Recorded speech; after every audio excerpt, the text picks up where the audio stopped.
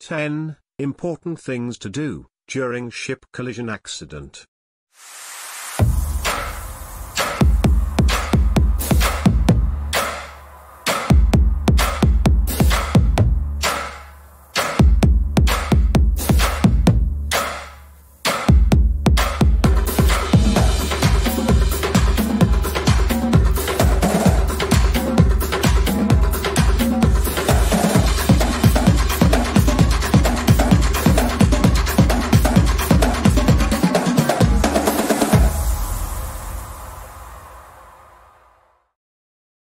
Even with the latest developments in navigational equipment and communication systems, collision accidents between ships continue to occur around the world. Some of the main reasons for such accidents are negligence, incompetence and miscommunication. Ship collision, just do not leave the ships damaged, they can also lead to major pollutions, and claim several innocent lives. Not to forget the ill-fated ferry MV Doña Paz, a Philippine-registered passenger ferry, that collided with motor tanker Vector and oil tanker on 20 December 1987, and killed 4,386 lives including 11 crew members from motor tanker Vector. Considering the vulnerability of such situation mentioned below, are important points to consider, when a vessel meets with such unfortunate emergency. Note, it should be understood that the following points are just for the purpose of guidance, and during a real situation, one's knowledge, seamanship and personal competence come into play in handling the situation and saving lives. 1. Inform the master and engine room. This is obvious, but make sure you inform the master, if he is not on bridge. Inform the engine room and stop the engine. The officer on watch should not hesitate to call the master, even if he has the slightest doubt about any given situation. The decision to stop the engine would depend on the severity of the accident and immediate action to be taken. Master's experience, knowledge and his overriding authority helps in making quick, and bold decisions to save lives. Once the master takes over the command of the situation, act on his orders. Mark the position of collision on chart, or by pressing the MOB button on GPS for future reference. Exhibit not under command signal if the ship has lost its headway completely. 2. Immediately send distress signal. Send designated or undesignated distress messages through VHF, MFHF, SAT-C or any other available means, depending on the sea area you are in, and time limit you have. If you have enough time inform the company, and the nearest coast radio station about the incident. 3. Record important data. Record the time of ship collision, name and IMO number of the vessels you collided with. Waste no time in arguing with other vessel. Leave VHF channel 16 unoccupied, through which, you can get necessary information regarding assistance, and help if the situation demands. Use any other VHF channel for inter-intra-ship communication. If possible, take a photograph of the collision from a secure location.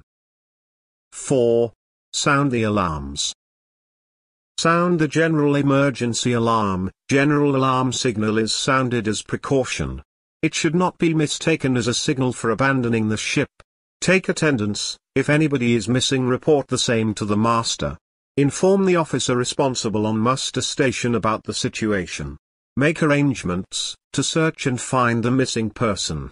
The responsible officers and crew should lower the lifeboats up to embarkation deck and make all arrangements to abandon the vessel at quick notice. It should be noted that engine room should not be left unattended if the impact of collision is minimal, which do not need an immediate evacuation of the compartment. Also, the engine room in charge should ensure all officers and crew working in the engine room are ready with their life jackets and TPA if immediate evacuation is required in the later stages. 5. Assess the damage. Send an officer, responsible to the area where the vessels have taken the impact. Inquire about the percentage of damage occurred. If the damaged area is an enclosed space, ensure to take all necessary precautions, for enclosed space entry. Make an assessment of the damage and report the same to master. Any decision should be taken by the master or if the master is incapable of making decision or carry out his duties, the person next to his command should do so. 6. Take the soundings. Send crew to take sounding of all ballast tanks, freshwater tanks, and wing tanks. Give instruction to engine room to take sounding of all tanks in engine room. All tanks soundings are to be taken and recorded, because the tanks far away from the impact can experience damage or crack due the shock created by the collision. Record the sounding of all tanks and compare it with the previous sounding data. If there is any change in the sounding, there can be a crack or a hole in the tank. The sounding of the particular tank or tanks should be monitored carefully and the rate of increase or decrease in water should be calculated. 7. Take immediate action in case of damage. If any tank or tanks appeared to have suffered damage, and ingress of water is confirmed, make necessary arrangements to pump out the water. If the pumps are not effective, and cannot contain the ingress of water, the whole compartment can be sealed preventing other compartments from being flooded. If a self-closing watertight door is provided, it should be operated from the bridge itself. 8. Check for oil spill. If any of the fuel tanks or oil tank is damaged, and if there is imminent danger of oil spill, the procedures mentioned in SOPEP plan should be followed to contain the oil spill. 9. Reach the nearest port, if possible. If the master attempts to correct adverse list or trim, he should consider the effects of shear force, bending moments, free surface effect when transferring liquids, and ballasting and deballasting on the hull. If the own ship to be afloat without danger, and engines are ready to maneuver, set course for the nearest port for repair. All the above mentioned duties have to be carried out, in a very quick sequence, and with utmost precision, as collision can lead to other emergencies simultaneously. 10. Abandon the ship only if everything else fails. If the own vessel appears to be sinking, and leaving no other choice except to abandon the vessel, it should be a verbal order from the master. It should be always kept in mind that a ship is the best lifeboat. The master and crew should always try, and carry out all necessary means to keep it afloat. But once the decision is made to abandon the vessel, no time should be wasted. All crew should carry out their duties effectively, and escape from the sinking ship as quickly, and as far away as possible.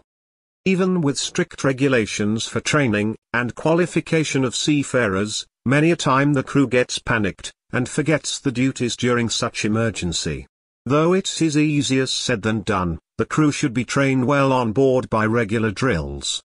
They should be well informed about the use of life-saving equipment, and their operating procedures. If a new person joins the vessel, he should be well familiarized with vessels, emergency procedures, escape routes, location of life-saving equipment etc. before the vessel leaves the port.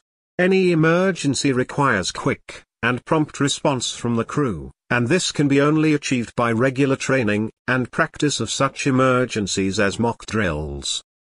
The steps mentioned, is not an exhaustive list, but a general overview of things that need to be done, in case of collision accident. The points must be taken only as reference, and one must always be guided by practices of good seamanship. Thank you for watching and listening. Don't forget to like, share, and subscribe. Darwanderer TV.